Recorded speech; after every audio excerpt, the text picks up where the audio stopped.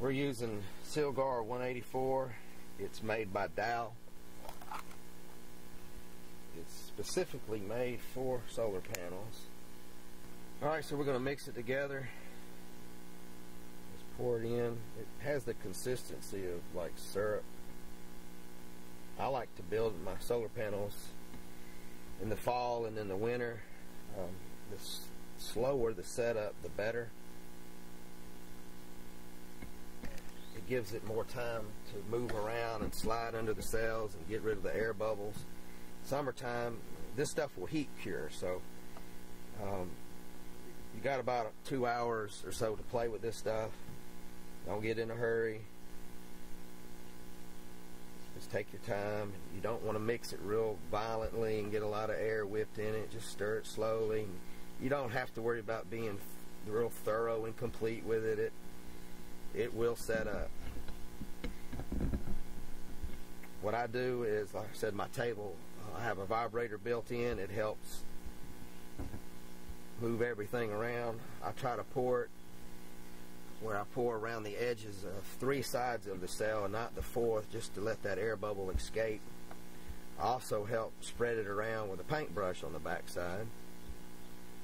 And then uh, when I'm done, I'll uh, leave the vibrator running for about an hour. I'll cover it with a piece of cardboard and um, keep it in the shade. And I'll leave it alone for three days. Just let it sit there and do its thing after that, I'll uh, my barn faces south, so I can open this big door and leave this all in the barn with the sun shining on it, and let it heat up. And I won't put this on my array for um, a week or two. If you try to put it on there too fast, um, this stuff sets, it'll be sticky and the cells may uh, slide off and especially when you put it in upside down it gets out in the heat. So I, I leave it. Uh, I leave it upside down. so if you turn it right side up, and put it out and try to use it, it it may slide off on you. So give it at least a week. So just going to pour. You don't have to be worried about being neat. And worrying about being getting it extremely accurate. Just just pour it out. It all slides around and got plenty of time to play with it.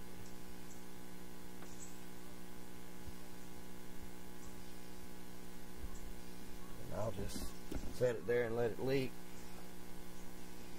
if you don't have a table that vibrates, you can, uh, you can do some things and help slide it around. And just take a paintbrush and help spread it around.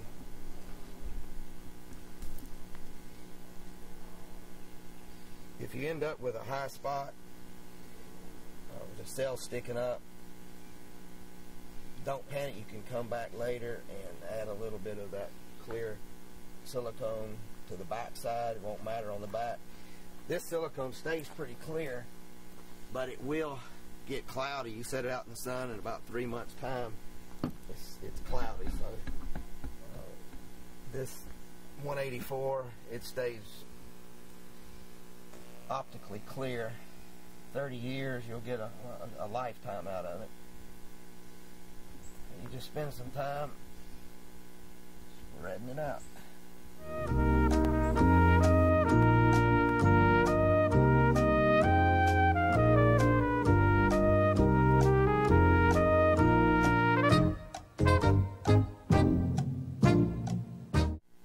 Thing I do is before I encapsulate I'll caulk a bead make a dike as close as I can to the cells and that keeps from wasting that encapsulant over here on the edge. Now this glass runs all the way almost to, you only got about a quarter inch gap. So all your solder connections that are made um, are on the glass. So it's not only aluminum where you're shorting out anything.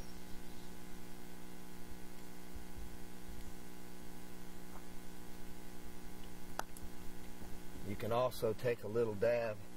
You can see here in the corner. Um, a little dab of silicone and it helps hold that cell in place.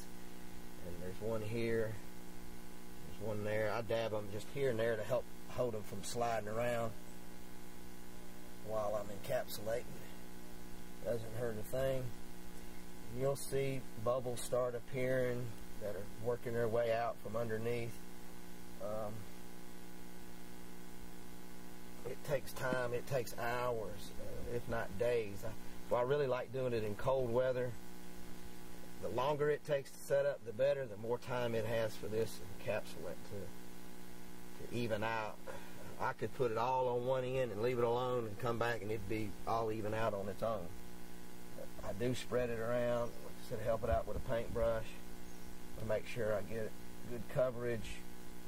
I have a hole in the table where I can look underneath and see where I'm having areas that are need a little more help. But pretty much I'll leave it alone, let the table vibrate.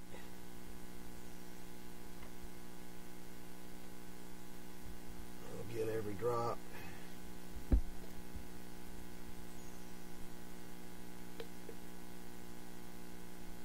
I haven't found any products that are better as of yet than the uh, this made by Dow. And that's about it. We'll uh, I'll put a piece of cardboard over this and let it vibrate for about an hour.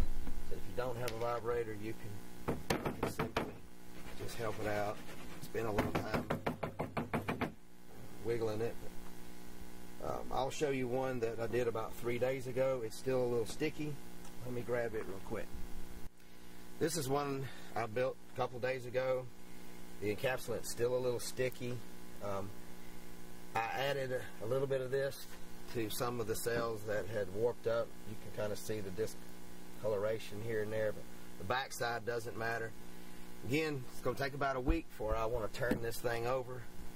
Um, I'll let it sit out in the sun for several days and let the heat set it real good before I, uh, I put it on my array. This is one that is a couple of years old that I took off and uh, you can see there are some tiny little air bubbles. Um, but the frame's held up well. It's got a little bit of age look to it. The uh, the glass we use is a clear tempered quarter inch glass. A lot of the solar panels you buy out there are just eighth inch glass and they break easy. The, you get a gust, 60 mile an hour gust of wind um, and it breaks, and the frame's so weak it won't survive. So again, everything we're building is to try to last for 30 years, not just one summer.